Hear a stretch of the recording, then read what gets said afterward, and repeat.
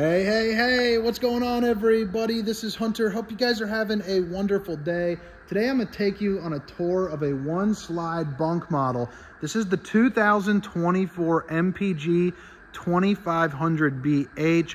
This thing is absolutely incredible. If you're looking for the specifications, length, height, tank sizes, awning sizes, all that good stuff will be found down in the description of this video along with my contact information. If you guys are in the market for an RV, I would love to be the guy that helps facilitate that. Hit that like and subscribe button. Help me reach my goal of 40,000 subscribers.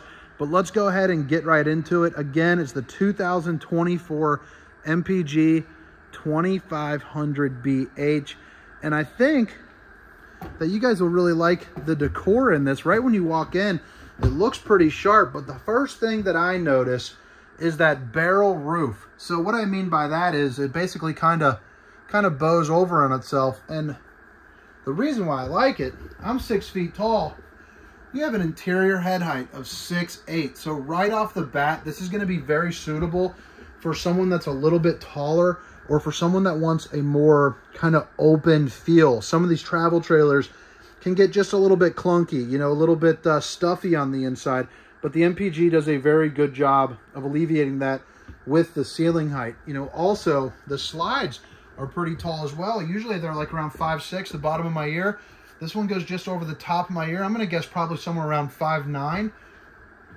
So that also allows for big old windows. I have the blinds partway drawn, but you're to get tinted windows on every window here. They all open up for a nice cross breeze.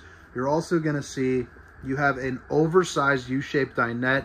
So that creates an extra sleeping space if you need it. All you do is simply take out these legs right here and drop this table down to sit on those little, uh, I, I, call them plastic nubs. I don't know what the actual technical RV term is, but you know, I'm, uh, they hired me because I'm friendly. But so I'm gonna say drop it down on the plastic nubs and you are good to go with some extra sleeping of one to two, depending on their size.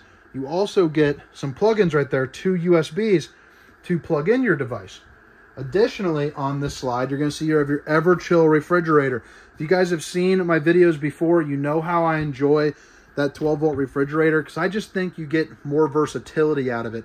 So this will run off of your battery, you know, your truck going down the road. Obviously, uh, you know, shore power, but also, you know, solar. If you guys have solar on your camper, all of those things can run this 12 volt refrigerator. But what really makes it special is well, aside from that, I mean, that makes it special. What really makes it special, if the sun is beating down on this side, it won't heat up the interior of the refrigerator. It's just like the one inside your home. It just happens to run off a little bit of a different power source. Your traditional gas and electric refrigerator, the food can kind of warm up depending on where the sun is. And you know, that's always a big time bummer. Now, one thing about the MPGs that's going to be different from what I would call its sister brand, the Radiance. So the Radiance is going to be a little bit heavier a little bit taller up in the ceiling, but they're also going to be a little bit more money. MPG cuts down on the weight, cuts down the cost by having things like this countertop. If you do not need a solid surface countertop, you know, like that, um, you know, kind of like that stone material. Babe, if you're watching, I love you. This is a plastic, kind of a hard vinyl wrap plastic, really durable, really sturdy, but it's lighter and less expensive. Great feature to have to save you a ton of money and a ton of weight. This camper comes in at below 5,800 pounds dry. So most of your, you know, your 150s, your 1500s, even some of your Suburbans can tow this thing absolutely no problem. Cutting board for the top, which is always a big time plus. Just a little versatile for extra space, obviously for cutting stuff. Single stainless steel undermounted bowl with a high-rise residential faucet. So I like seeing that too. Just a nice little added touch with the stainless steel. You're also going to see a good amount of countertop space, a window, pretty cool backsplash too, just looking really sharp. And then underneath the sink, you're going to see you get a ton of storage. Little place for a sponge brush.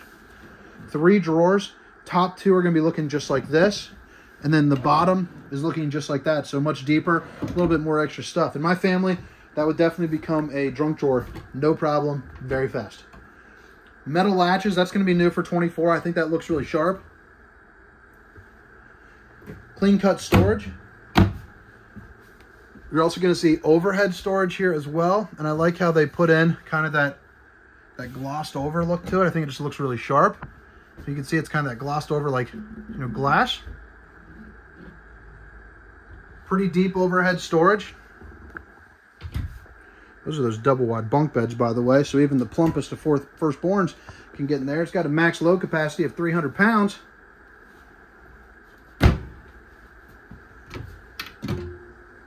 Three stovetop burner.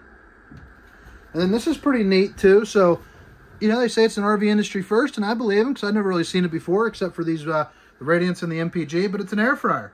Those are getting pretty darn popular. You know, cook up some snacks. A little more versatility, never hurt anything. Fan, light, Greystone microwave. And then you got more storage, going to be the same, both top and bottom here. Now down here is going to be your fuse box. So if something isn't working, make sure to check that out. You are good to go. But like I was saying on the bunks, you get the top bunk is going to have max load capacity of 300 pounds. This is round belly approved. I could sleep in this absolutely no problem. And this is where that barrel roof comes into play. If it is just flat and you have an interior space of 6'5", like some of these brands out here, you're going to be hurting. You're going to be feeling a little bit stuffy. So I like the extra room. It's also going to be really comfortable, you know, kind of mattress there. Little net to hold up any belongings. And then underneath here, you get a ton of good storage. How nice is that? You can never get enough storage. Give you a little view here. It's a good looking travel trailer. Oh, forgot to turn on the lights. Let's flick those on. Pretty good sized bathroom as well. And I like how they got the old uh, foot flush throne right there. Plenty of room. Let's also show off that how light and bright and beautiful that flooring is. That is just nice in general. You got a sink, a little bit of countertop space, enough to put some, you know, maybe like a soap and some, uh, you know, toothpaste and toothbrushes and all that kind of good stuff. Access to your plumbing and some storage. Outlet that you can control from the solar too, so that is a big time plus. And then a little medicine cabinet. You got a mirror right there. Show off the old bowling gun, baby. I cannot wait for bowling. I think I am about 10, 11 days away, but who's counting? Who is counting? Good size shower. It's bigger than the corner radius shower at least. You know, I'm a, am uh, a bigger guy, six foot, roughly 300 pounds, depending on, you know, if I've been behaving myself or not. Down to 294 today, so that was freaking awesome. Good feeling there. But I got enough room just to kind of move around. It does get a little tight, you know, if you are my size. But with that being said, it's definitely serviceable and bigger than some. You also get a sunlight, and then right here, a little fan, uh, so you can help, you know, kind of circulate some of that air, suck out the steam or the stink. Bada bing, bada boom.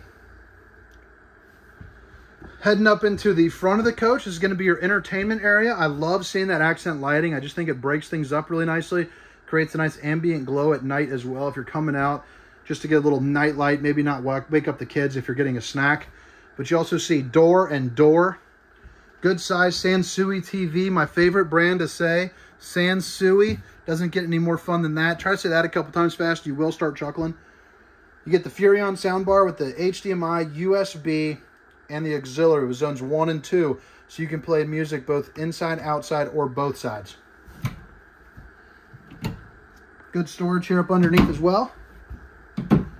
And then now we're into the bedroom. You're going to see you have an emergency exit, so pull, push, and plop right there. You can get out in a hurry. Another window right there for a good view. But check out that storage. That's all up and around. And by the way, this is going to be a king bed with their patent pending king bed slide. So basically with that, there's a little latch that you can push and you can take it, unhinge it, and push this bed all the way to that side or all the way to this side. So that way, if you have somebody that's maybe a little bit hard of walking or just needs a little bit extra space to kind of get in and out, you can move that all the way against the wall and just really make that area one big open space. So I love seeing that. Just makes it more versatile, you know, for more situations. Pretty good area for some hanging room, and that's going to be the same on this side as it is on that side. Good storage there as well. And then underneath here, you get a little cubby with all the outlets that you need. So you get a little nightlight for some reading. You also see two USBs and two outlets. Hopefully the camera picked that up okay a place where you could drop a second AC if you really wanted to. And a camper this size, probably wouldn't recommend it, but the option is there and available. You know, if you camp somewhere super, super hot. But uh, predominantly a 15K AC will really, really do some wonders for the size camper. TV backer location. So you can hang up a TV right here. Probably by the looks of it, I'd say about a 42 to 46 inch, maybe a 50. I'd have to kind of measure it. But then you also get your outlets and the appropriate plugins there for your cable.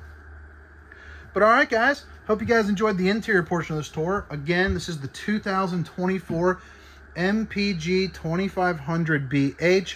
If you don't mind, hit that like and subscribe button for me. Help me hit my goals.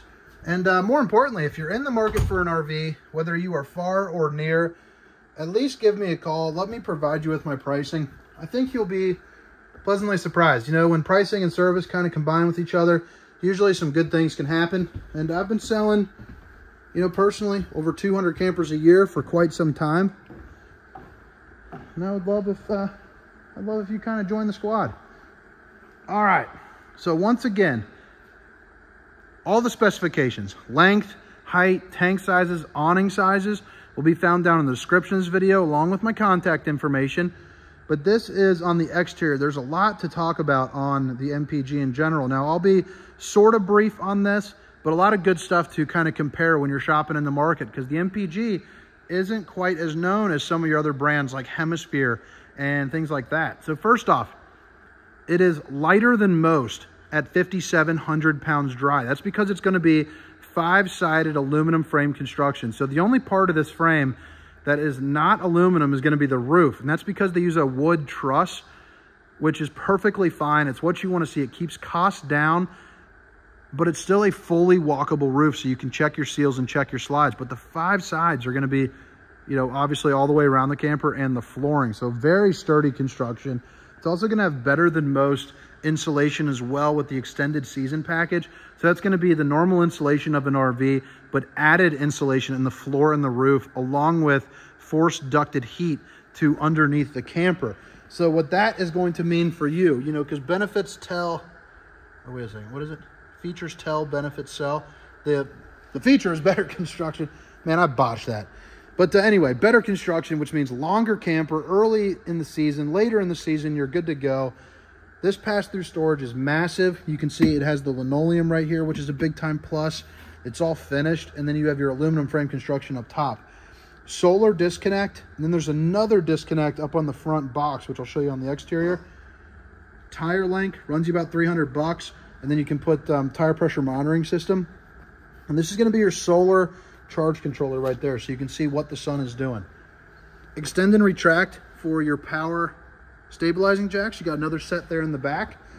Massive awning. I'm going to guess around 20 feet, but again, that'll be down in the description. LED lights there running up underneath. You also have your step above steps that flip up into the doorway with a larger than usual grab handle. So that's that extended season RVing. You can see that's the enclosed underbelly, but it just kind of shows you that you can use this a little bit longer three-year structural warranty as well. Hopefully you don't need it, but you do get a little extra backing uh, from Cruiser, which is really nice. Trailer King tires shining like justice, looking really good when they're nice and cleaned up. See that suspension system right there.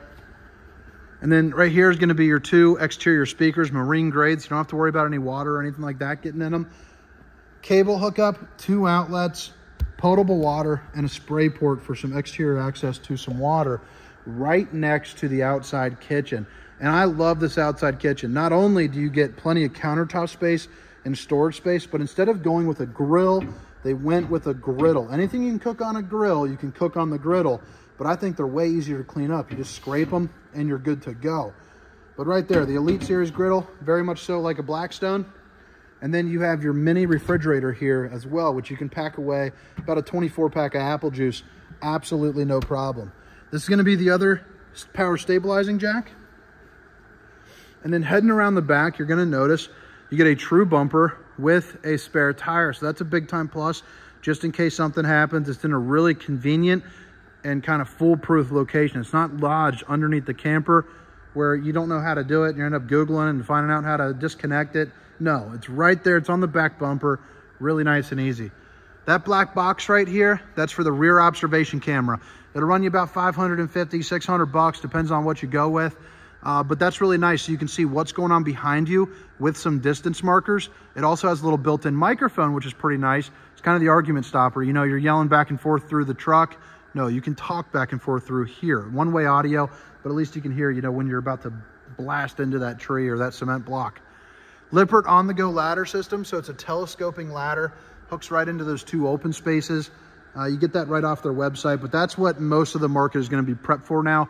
But again, it's a fully walkable roof, so you can get on top, check your seals, check your slides. Now, speaking about slides, if you're ever going to have a leak, it's going to come from the slide for the most part because you have that bonehead moment where you're parked under a tree and, you know, a branch or something falls on top. And then you pull the slide in and it punctures those seals. You know, these seals are triple layered. So you got three different layers. You have one, two, and then another one there.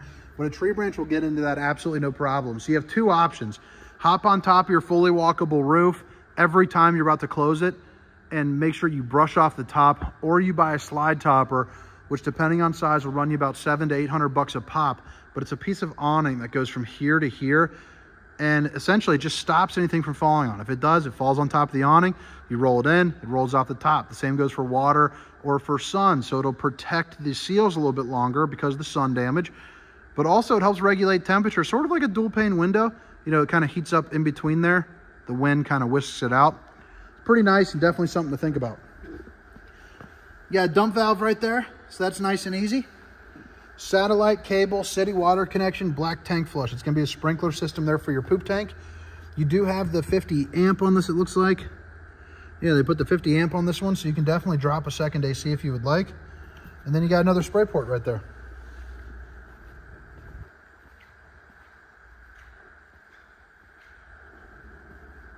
Back end of that pass-through storage.